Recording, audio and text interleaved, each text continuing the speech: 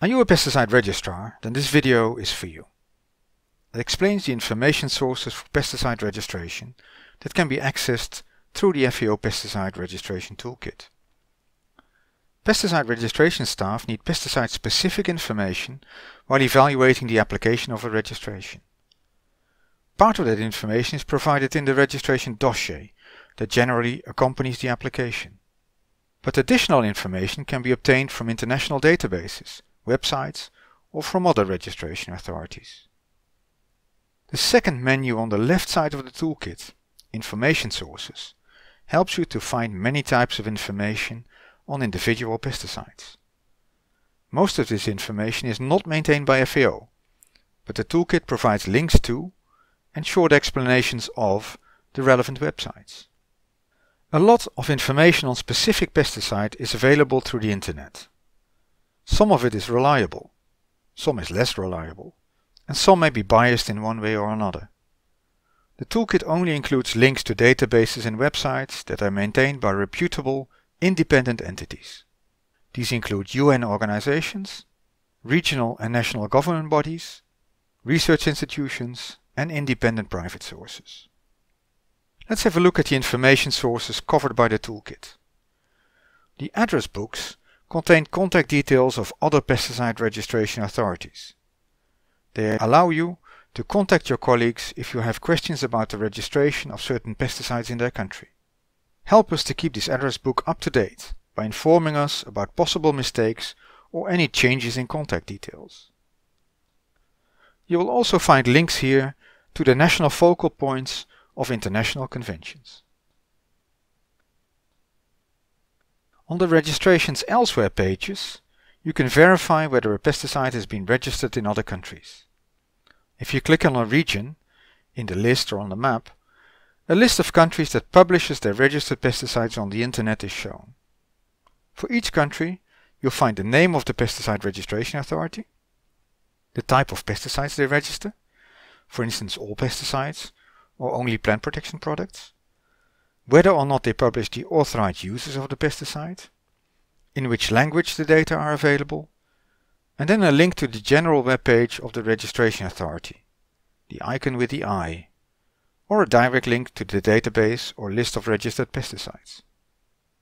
For instance, in the case of Myanmar, you are linked to the web page of the Pesticide Registration Board, which publishes a list of registered pesticides in the country. The module on restrictions and bans allows you to verify whether the use of a pesticide has been severely restricted or banned by an international convention. These include the Rotterdam and Stockholm Conventions, as well as the Montreal Protocol. By clicking on the explanation icon, you get a description of the main annexes or databases that list the pesticides regulated by that convention. This helps you go to the right section of the convention website. By clicking on links, you are taken to the home page of the convention, or directly to the databases listing the regulated pesticides. By checking the scientific reviews page, you can access pesticide review reports that are available from international and national bodies. These tend to be detailed evaluations and reviews of pesticides, conducted either for registration or for standard setting. You will find reports by international bodies such as the FAO and WHO Joint Meeting on Pesticide Residues, by regional regulators such as the European Food Safety Authority, or by national registration authorities that make their evaluations public.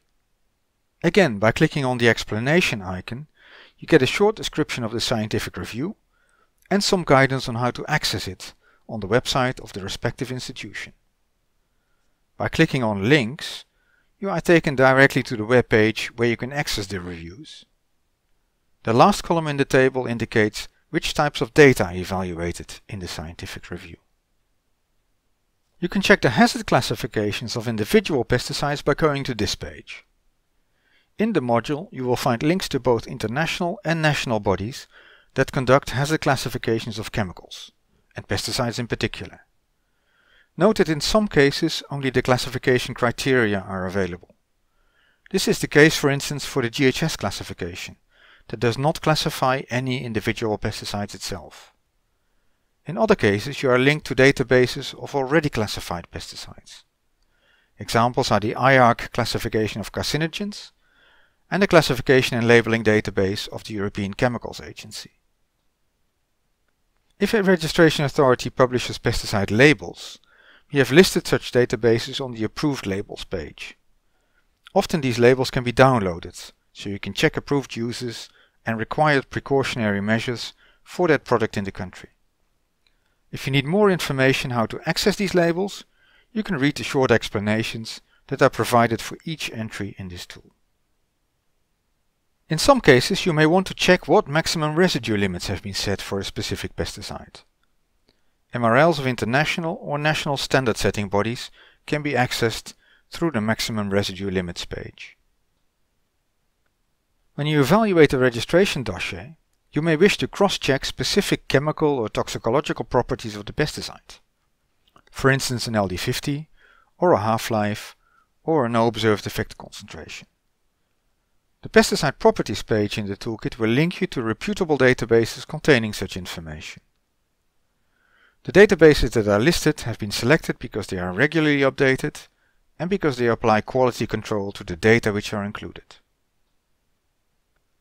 And finally, the pesticide specifications page provides access to international pesticide quality specifications. We have now briefly gone through the information sources menu and shown you the many types of data that can be accessed in a quick and simple manner. This menu allows you to find reliable pesticide specific information relevant for pesticide registration in a rapid way. We expect that these will be useful for your work as a registration staff.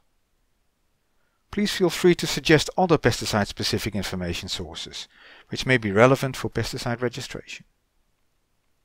The Pesticide Registration Toolkit is work in progress. We will continue to update the information sources, so check back regularly for new websites and databases.